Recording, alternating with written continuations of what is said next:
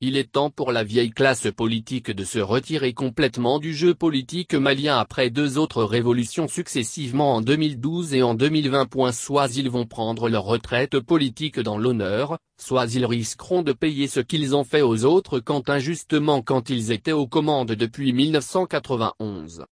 Nous patriotes maliens de cœur et d'esprit du Mali actuel, rejetons totalement toute idée de sursaut national tant que l'idée viendrait viendrait des mêmes acteurs de 1991. Aucun parti politique, aucun regroupement politique ou organisation de la société ne pourra jamais amener les populations maliennes à un quelconque sursaut national car ils ont tous contribué à la faillite de l'État malien depuis 1991 en favorisant la mauvaise gouvernance, l'impunité, la haine, les acharnements et intrigues pour envoyer injustement en prison de paisibles citoyens.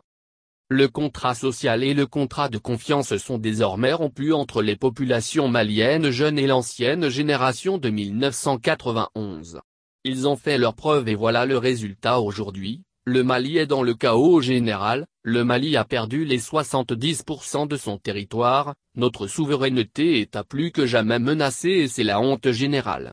Nos compatriotes de la diaspora vivent dans la honte dans leur pays de résidence. Nous cherchons toujours notre marque en jetant la faute sur nos partenaires internationaux alors que les fautifs sont nos propres dirigeants. Cette ancienne classe doit renforcer la génération actuelle dans son élan et son énergie d'imposer le changement. Le président de la transition a déjà dit que tout doit être refait et que le seul mot d'ordre est l'inclusivité pour la refondation du Mali. Espérons que lors de la prochaine visite au Mali de la mission de médiation de la CEDEAO, que nos acteurs politiques de 1991, profiteront de cette opportunité ultime pour lui faire part de leur décision de se retirer définitivement de la scène politique et de s'aligner et accompagner enfin la nouvelle génération pour la refondation du Mali. Cela sera à leur honneur et nous les respecterons et protégerons à notre tour. Pourquoi toujours recevoir à chaque fois chez nous des enfants d'autres pays venant nous rencontrer pour essayer de concilier les points de vue discordants des protagonistes qui disent tous aimer le Mali?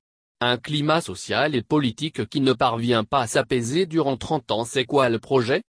Hier ensemble, aujourd'hui des opposants, Demain avec un poste administratif on dit que tout est blanc et cela depuis 1991, le peuple malien est fatigué et la communauté internationale doit comprendre ce message si elle veut la stabilité et le développement du Mali.